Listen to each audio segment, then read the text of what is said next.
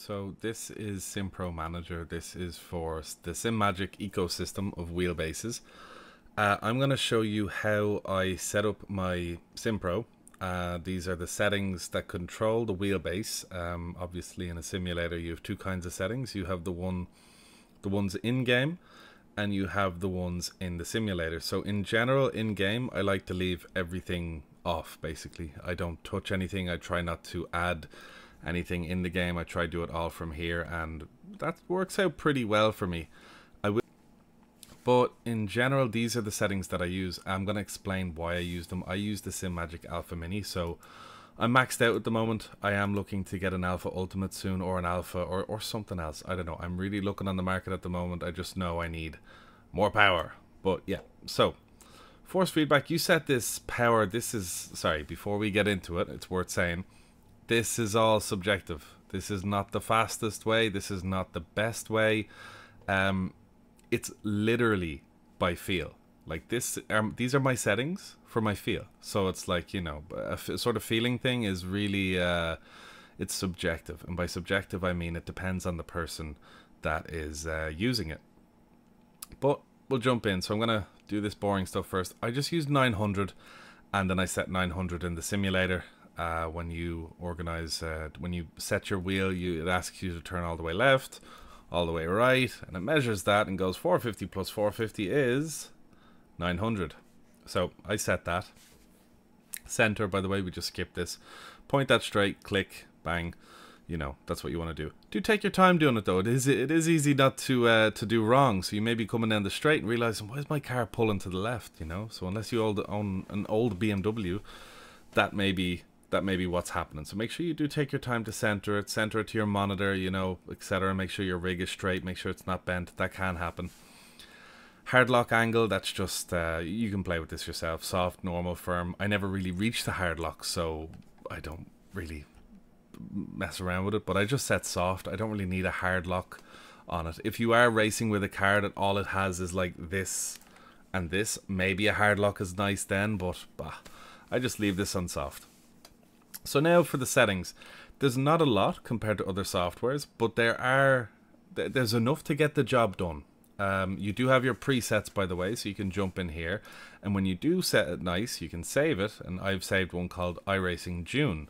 You can probably tell I do change this a lot. So, you know, I tweak little things here. And I'll explain to you kind of what, what I have, why I have, and then why it's evolved. So Force feedback set to 100%. Obviously, if you have a very powerful wheel and you find it's too strong, maybe do 60. That way you've all the headroom, you know? You're not losing out on anything, but do set this. Control this to where you want it. Um, max torque as well, you want to set that to where it's appropriate for yourself. This is by feel, by strength, what you can physically handle and what you can physically handle over a semi-prolonged amount of time. Smoothness is important I raced with smoothness on zero for quite a long time, and while it was nice and jagged and rough and uh, very sharp, and you can tell all these settings are to make it quite a sharp wheel, um, I was noticing a lot of heat in the base. And I looked at a post on Facebook, and some guy said, uh, "Yo, you run smoothness on zero? Are you trying to melt your base?" And I was like, it's just the way he said it. I was like, okay, I'll try one. Go on. Okay. And it felt super dull compared to zero. But then I got used to it and now it feels absolutely fine. If you want, you can run this on two, but for iRacing, I wouldn't be going I wouldn't be going this high. But again, the keyword being I. These are completely subjective. These are my settings. But smoothness one is what I use for a nice sharp feel, nice and reactive. When it oversteers, it lets me know straight away. Wheel rotation speed this is kind of how fast the wheel reacts to stuff. So you, again, test this out yourself. You put this at 100, go over a curb, the wheel is going to be jumping in your hands. Put this down at zero, you're not going to feel anything. You will feel the weight of the wheel, the tires, the, the, the communication is trying to tell you, but you won't feel any fast movements. It'll all be pretty slow. So I kind of play between 100 and 90. Uh, I did put this on 45 for a while, but I just found myself working up and up and up and up and up until I basically hit 100 and I was pretty cool with it. So I choose 90. You can choose all sorts of different things. Dan Suzuki in a video I seen, he chose 45. Uh, there's there's a lot of different ways you can operate this, but 90 I like it because I like it sharp. Feedback detail. Uh, again, you can test this yourself when you're going around a corner. You'll feel a lot more weight in the tires. It'll show off the vehicle suspension. You will feel the car's weight on the left. You know, it, there's a lot of feeling stuff going on. Some people say put this all the way up. You know, you're mad. You're very boring if you don't have it high. But if you have it down at zero, it's very sharp and you get a raw. You get raw data through your wheel. So I kind of put it on one or two because I find it helps for consistency. The raw data, although it sounds good and that you may be super fast with it, in my case, I wasn't because it was too raw for me. I needed something to kind of just soften out the the big the big moves when they happen because when it's raw, you know, when a big move happens, unless you're able to correct it in a perfect and raw way, you're not going to you're not to get it all the time. So I put this on 2 just to kind of add a bit of softness to it. So I talk about sharp and softness. It's very tough to talk about, but that's that's what I'm that's where that's where we're going. Mechanical damper. These guys, I didn't believe in these. I thought these were silly and not shouldn't be used because raw. You know what I mean?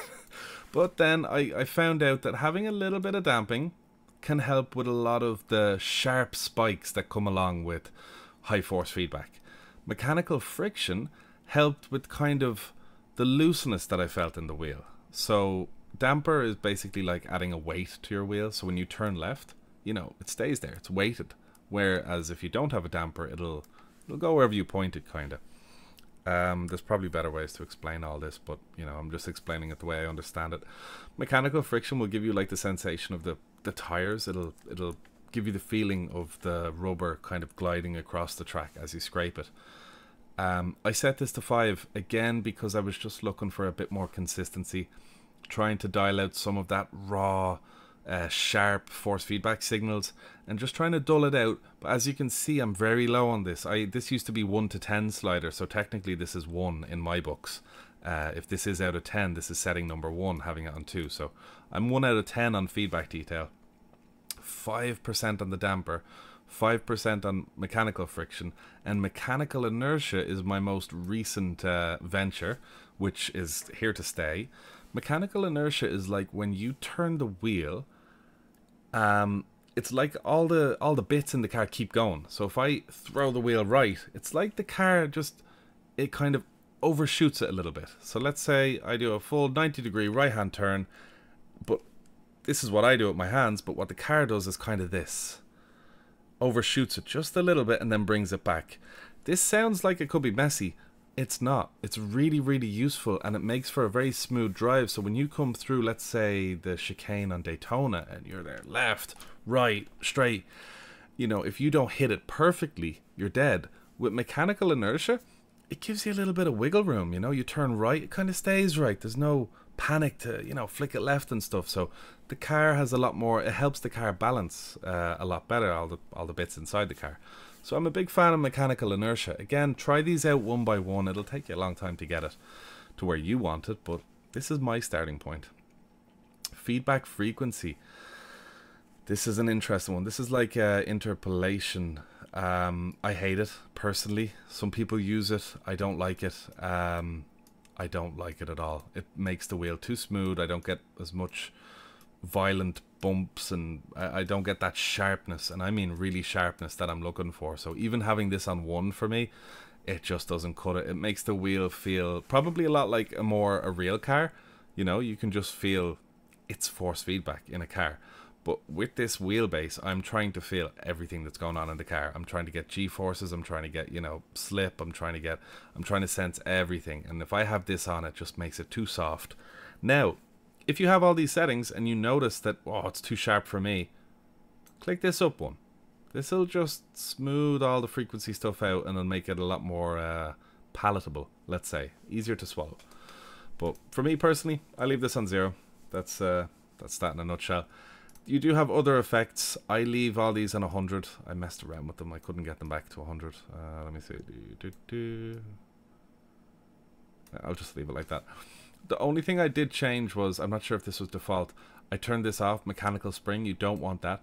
But center damper is quite interesting. These come default off, actually. I set this to like 10%. And what this does is this helps to get rid of oscillations. When you're coming down a main straight and you let go of the wheel, your wheel's going to be like flying around and going do, do, do, do, do, do, do.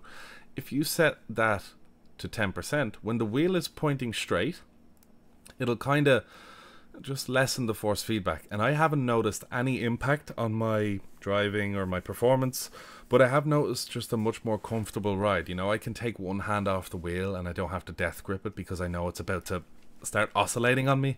So I leave that at 10%. Again, that's a tip I learned from Dan Suzuki. In his video, he actually had on 8. Uh, he said he experimented between 12 and 8 or, or something like that. I just chose 10 because the round number looks nice. And I did try 8, but I don't know, I just settled on 10, just a little bit more. You can try this out for yourself. These guys I leave all here, you can play with them. If you reduce these, you will get a very raw feel. So I would leave these as is, let the game do its thing. This is just going to accept the game's uh, output.